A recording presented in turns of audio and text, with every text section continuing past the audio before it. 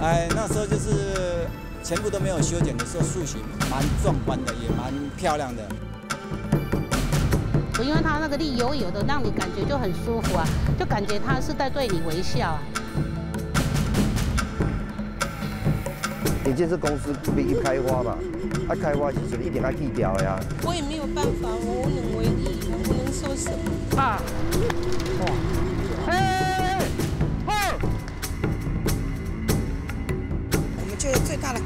大的困难是啊，我们很担心说它死掉。伊若搁活咧就袂好彩啊，上惊就是。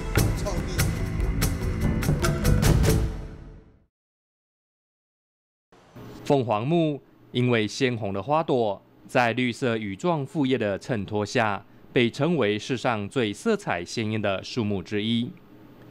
由于树枝横向开展而略下垂，在台湾很适合当遮阴树的角色。这张树啊，吼，较外大芒嘞，搁只这个庙的吼嘛较凉。热天的时，才会较凉，到暗黄啊咧。哦啊，感觉讲对称了，真正袂歹，树花型足水的。凤凰树在六月大量开花，常和蝉鸣并列是毕业的印象。那个时候，那个有的掉满地的那个红红的那个哈，那个那个是叫花还是叫叶？哇，那看起来是蛮舒服的，走过去心情也会觉得好开朗一点这样子。在台中市南区的民意街里。就有这么一棵令居民欢喜的凤凰树。我开这条民意街就这站，我看看到的，点点嘛水水。安怎水？都安尼安尼叫我青青青，要拢袂讲安尼在打起安尼。哦，你也可以乘凉，也可以在这边聊天。尤其夏天的时候，我们这边很热，都三十几度。由于这这棵是给我们哦，感觉上就是不会那么热。啊，然后大家是不是很舒服？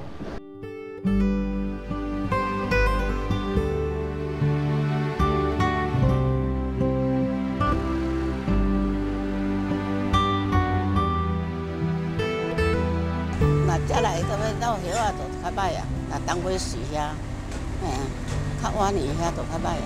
会老干呢，当遐大较老较真济安尼。啊，阮扫拖骹上烦恼就是只拖骹遐桥啊。伊个拢叫油的啦，那不是咧黄金。对啦，我黄金皮啊。因为一年的关系，我就来到妙天宫。妙天宫来的时候，这个满地都是黄金啊，因为树叶太多了。然后这边的人就说，啊，这。这一棵树怎么样？怎么样造成这边的脏乱？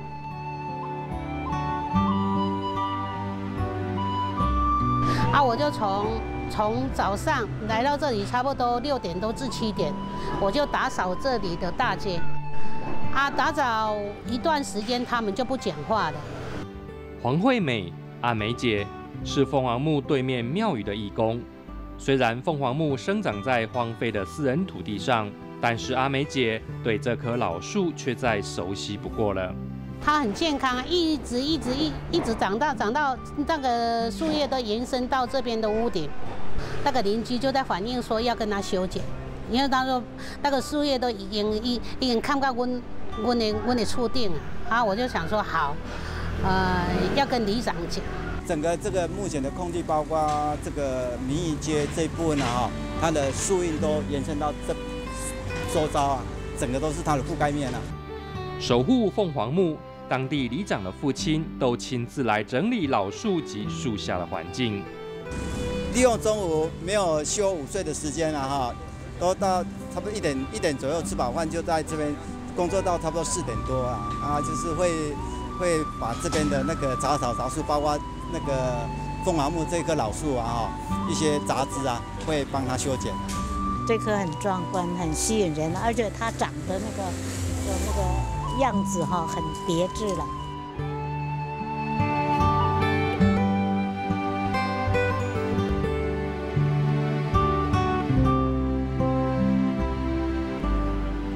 啊，就这张树啊，有伫遮鸟啊，哦，有特殊的鸟啊，咱是袂晓看，有人来遮来拍摄，要伊的迄个生态。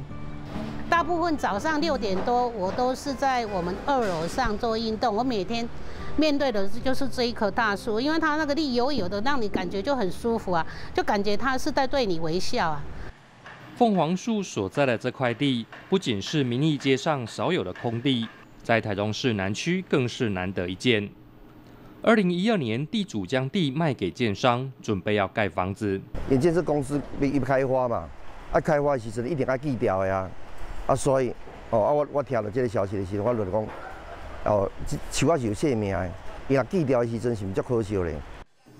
存在八十多年的凤凰树，和许多树一样，面临开发的威胁。都市越繁荣，老树的立足之地似乎就越来越小。那当初本来的想法是说，呃，铲除掉的话，那就要再运的话很方便。要不然如果移植的话，第一个怕移植，不知道会会不会活下来，而且要移到哪里，放到哪里。地方民众和附近的里长开始为老凤凰树找保留的方法。眼看着建商就要进驻开发，老树被砍掉的可能性越来越高。哦，啊，我到那个文化部哈，哦，去接洽哈，啊，跟黄水兰主任哈，甲讲诶，啊，叫一丛树啊吼，凤凰树啊要锯掉，啊，恁要爱无？伊讲好啊，哦，啊好的时阵吼，啊，我就讲，啊，我我就跟那个立建建设讲。他们一开始觉得说，可能吗？而且经费可能会没有。那因为那时候也七呃已经八九月了，在文化部文化资产局的支持下，民意界的这棵老凤凰木决定移植到附近的台中文化创意园区，也就是居民口中的台中旧酒厂，逃过了被砍伐的命运。老树是需要保护啊，而且是我们那个。地方上的资产，而且移到文创园区又离得蛮近的，所以我们都是乐观其成。虽然老树终于可以移植，但是地方居民的忧心并没有解除，怕它会不会说移走了以后，它没有办法在那个新的环境里边再长哈，会不会枯死啊？就是担担心这个了。这棵树要搬呃搬迁的时候，我们觉得最大的困难是啊哈，我们很担心说啊它死掉，啊万一是活不成。那我们背负了很大的那个压力，说一个树要移植，那如果说移到那边，如果说活不成的话，那也是压力很大。